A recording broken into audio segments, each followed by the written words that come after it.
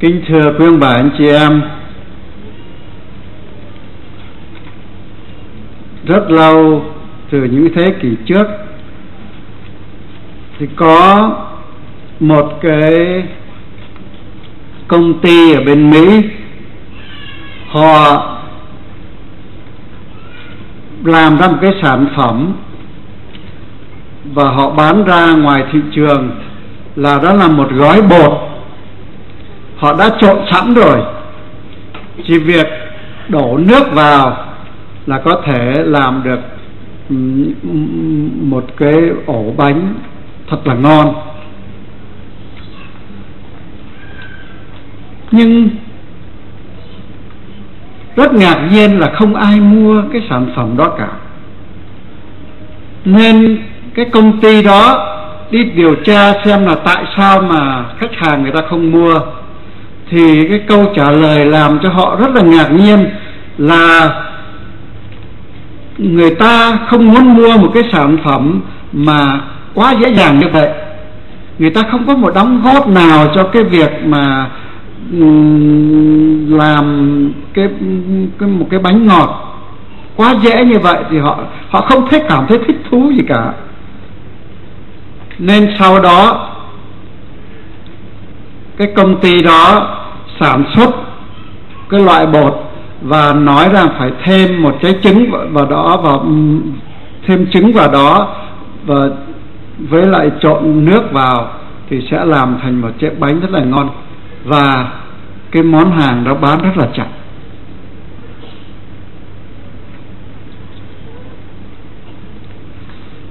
Chúng ta thấy ngày nay, có rất là nhiều người muốn giới thiệu Kitô giáo cho người khác một cách dễ dàng như vậy. Không có phải khó khăn gì hết. Chính vì vậy mà chúng ta thấy Kitô giáo không được đón nhận.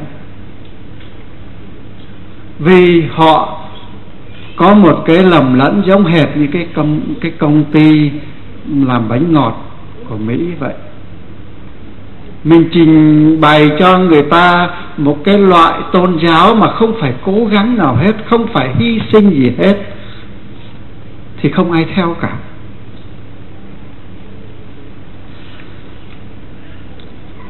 Nên trong bài phúc âm hôm nay, Chúa Giêsu nói là nếu mà hạt lúa mì không thối đi, thì nó chỉ trơ trọi. Một, nó vẫn là nó nhưng mà nếu nó thối đi thì nó sinh nhiều bông hạt. Hạt giống phải mục nát đi mới sinh nhiều bông hạt. Đó là điều rất đúng với đời sống tự nhiên của con người. Mục nát ở đây có nghĩa là phải chịu vất vả, khó nhọc. Người nông dân muốn có một mùa gặt bội thu phải thức khuya dậy sớm, dầm mưa dãi nắng, chăm chỉ cày bừa người học sinh muốn đỗ đạt thì phải từ bỏ những giờ vui chơi với bạn bè để đêm đêm thức mà miệt mài học hành. Mục nát ở đây cũng có nghĩa là phải chịu đau đớn với những từ bỏ. Một bào thai muốn phát triển thành một con người thì phải từ bỏ lòng mẹ nơi nó được cưu mang an toàn thanh thiếu nữ đến tuổi trưởng thành cũng phải từ bỏ cha mẹ, từ bỏ mái ấm gia đình để sống tự lập trong đời sống tu trì hoặc trong đời sống hôn nhân. Đời sống con người là một chuỗi những dài, những cái từ bỏ như vậy. Từ bỏ nào thì gây đớn đau. Nhưng chính nhờ những từ bỏ đớn đau ấy mà ta mới lớn lên thành người chính nhờ những từ bỏ ấy mà gia đình và xã hội mới luôn phát triển. Chính nhờ những từ bỏ ấy mà cuộc sống trở nên tươi đẹp, phong phú và ý nghĩa hơn. Hạt giống phải mục nát mới sinh nhiều bông hạt. Điều này tuyệt đối đúng với đời sống thiêng liêng mục nát đi trong đời sống thiêng liêng có nghĩa là phải chết đi cho tội lỗi, phải từ bỏ bản thân, phải từ bỏ ý riêng mình. Chết cho tội lỗi là dứt lìa những dục vọng đam mê trái luật chúa. Chết cho tội lỗi là quyết tâm lánh xa những con người, những đồ vật, những nơi trốn lôi kéo ta phạm tội. Những con người ấy, những đồ vật ấy, những nơi trốn ấy như gắn chặt vào ta, như một phần đời sống của ta, nên dứt bỏ được những con người ấy, những đồ vật ấy, những nơi trốn ấy, sẽ khiến ta đau đớn như chết đi một phần đời của mình.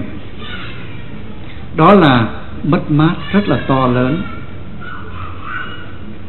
Nhưng nếu ta chấp nhận những cái mất hiện tại, ta sẽ có những cái được trong tương lai nếu ta dám chấp nhận những cái mất trong quà ta sẽ có được những cái được vĩnh cửu. Chết trong đời sống thiêng liêng cũng còn nghĩa là từ bỏ ý riêng mình để làm theo ý chúa. Từ bỏ ý riêng nhiều khi là một cuộc chiến đấu khốc liệt với chính bản thân của mình. Chúng ta hãy nhìn đức giêsu trong vườn Gethsemane cuộc chiến đấu từ bỏ ý riêng đã làm, để làm theo ý của Chúa Cha đã khiến Chúa Giêsu đau đớn đến đổ mồ hôi máu ra. Nhưng chính nhờ từ bỏ ý riêng như Chúa Giêsu mà ta trở nên con yêu dấu của Chúa Cha như Chúa Giêsu. Chính nhờ làm theo ý Chúa mà ta sẽ trổ sinh hoa trái. Ta chịu mất bản thân để được chính Chúa. Ta chịu mất điều tầm thường để được điều cao cả. Ta chịu mất trần gian để được thiên đàng. Nói tóm lại, chỉ khi nào ta tham dự vào cuộc hy sinh khổ hình của Chúa, ta mới có thể chia sẻ cuộc phục sinh vinh hiển với người. Ai muốn giữ mạng sống mình thì sẽ mất và ai mất mạng sống mình thì sẽ giữ được nó đời đời. Cho tôi nói một ít dòng với các em. Dear my children, years ago in America, when a bakery company first began selling their cake mixes, they offer a product with only needed water. All you have to do was add water to the mix which came in the box and you would get a perfect delicious cake every time. But no one brought it. And the company couldn't understand why. So they commis- commissioned a study which brought back a surprise answer. It seemed that people weren't buying the cake mix because it was too easy. They didn't want to be totally excluded from the work of preparing a cake. They wanted to feel that they were contributing something to it.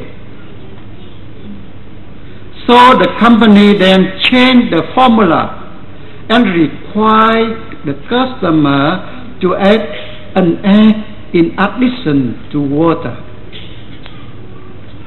Immediately, the new cake mix was a huge success.